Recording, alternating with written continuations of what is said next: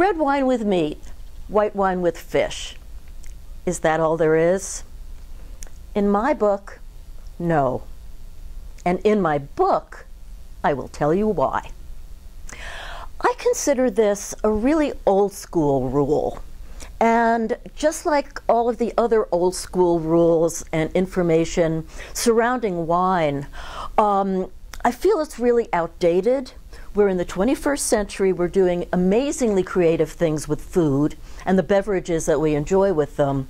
So why don't we just step out and go way beyond this old, outdated guideline? I like to think of wine as a sauce for food. So let's imagine a really, really simple food, like um, a pan sauteed chicken breast, just really simple butter and salt, okay?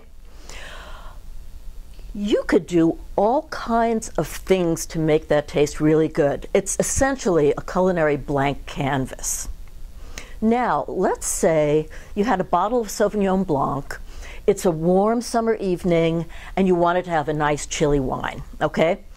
So you happen to know that because it either says so on the back of the bottle or because you have a copy of my book. Many Sauvignon Blancs have citrus flavor, flavors and herbal flavors. So, for your chicken breast, what you could do is add some lemon juice, put in some tarragon, two more ingredients, it'll taste even better.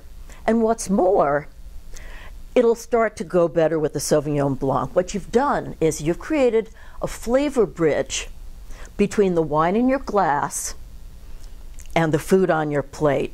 Essentially, the wine is acting like a sauce for your food, which brings them even closer together.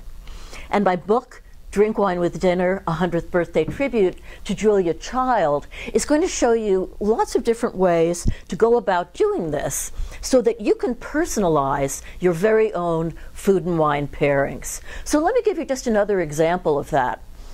Let's say you wanted to make a mushroom sauce for your chicken breast.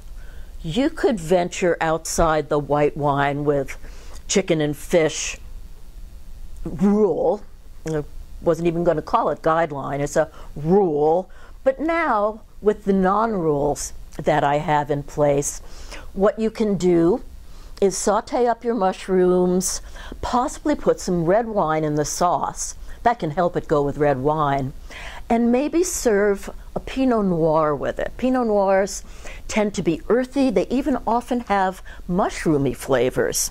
And when you match a flavor in the food, with the flavor in the wine, each one brings out the same in the other. Here's a great example of that. This, this shirt is a gazillion different colors.